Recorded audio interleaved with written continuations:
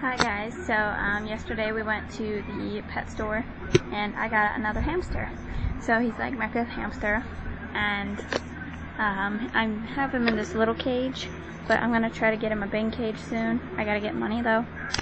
And um, he's like right there. I don't know if you see it, it's kind of dark. His name's Olly and he's just a cute little baby.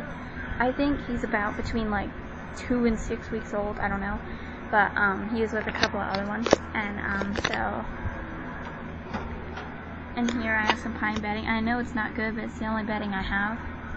And in here I have a little egg. Can't really see. I had some more in there, but he ate some of it. He has a wheel to run on, and he ran on it all day yesterday.